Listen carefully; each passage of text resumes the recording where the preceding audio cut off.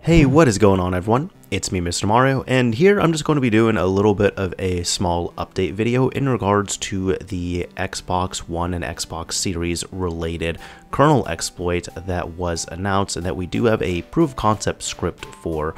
I have made a couple videos about this, one of them being Mod Chat where I went more into it, and another one being a video where I end up showing you all if you got your console set up how you can go through and use the proof of concept script to test and make sure that your console was working.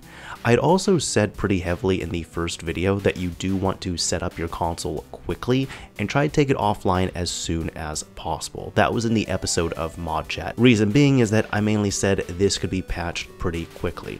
And while as there was a firmware update that did go live, I believe on June 12th for the Xbox consoles, it did not patch the vulnerability. However, it is safe to say now that unfortunately it is patched because, well, this application here, GameScript, the one that I'm highlighting, is no longer available. You could try to look for it on your console, you can try to look for it on the Microsoft Store, but it does show as product not found. So unfortunately, if you are watching this video here, it is too late because even though the exploit has not been patched in the firmware itself, it does require you to go download this application, install it, and have the license for it.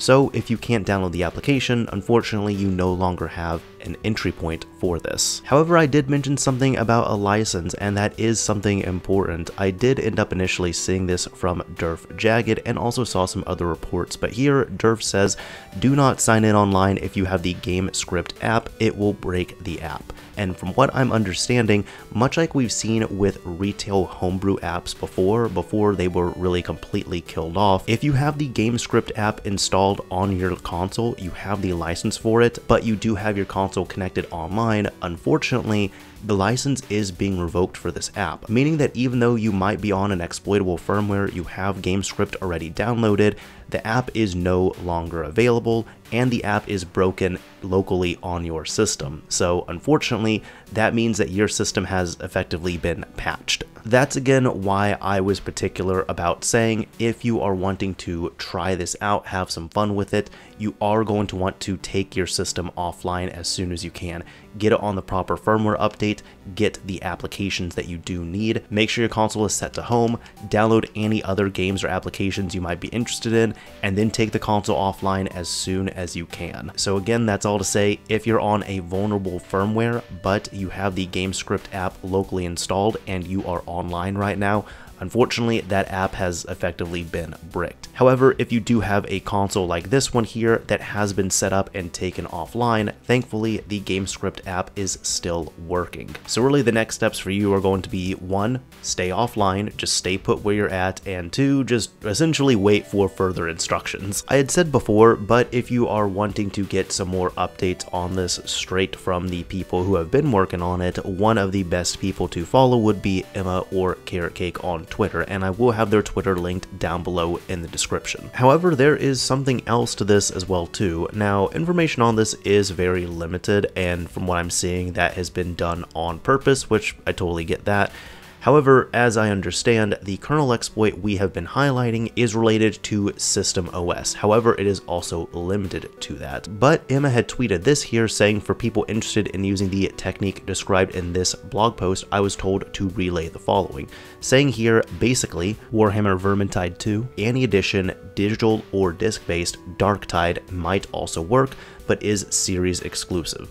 So what is that saying here? Well, the blog post that she is highlighting is this one in particular, which is called Durango Dumplings, which I had talked about a little bit before, but in short, this will be a method you can use to dump games from a retail system. So we have something for System OS, which is what GameScript is going to be for. However, if you are wanting to dump games, you do need something related to Game OS, which it seems like we're going to be needing, in short, an exploit game. Now, it has been mentioned that this is the game here, Warhammer Vermintide 2, and a disc or digital version. So I'll say this again, if you are watching this right now, you can still pick up Warhammer on digital. Unfortunately, it'll probably be a little too late to do anything with, so if you already have it downloaded and installed, you'll be able to at least run it here and hopefully be able to use something for this in the future. We don't know any other details about this right now, we just know that this game could be used for something. However, that's all to say, this is one of those games that was also released physically as well too, so if you have a Xbox One with a disk drive or you have a Xbox Series X, then you could make use of the disc-based version of this title. And like that tweet ended up saying as well too, Darktide might also work, but that is a series exclusive. So if you're wanting the more universal game, so to speak, I guess Vermintide 2 would be the optimal one, but if you have a series console and all you can get is Darktide, that might work. That's what we know so far in terms of a exploit game, which I was certainly not expecting to see. And as a final piece of advice that some were advising as well too, if you want to, you can go into general, go to your network settings, and within these network settings, there is an option, I'm not gonna go online here, but there is an option to forget your wireless network. So that could also give you some extra protection as well too, to forget your wireless network,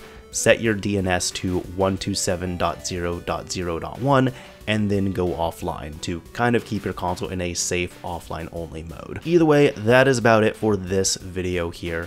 If this video helped out, a like would absolutely be appreciated. If you didn't like it, a dislike is fine as well too. But as I always say, this is Mr. Mario, signing off. Thank you all for watching everyone.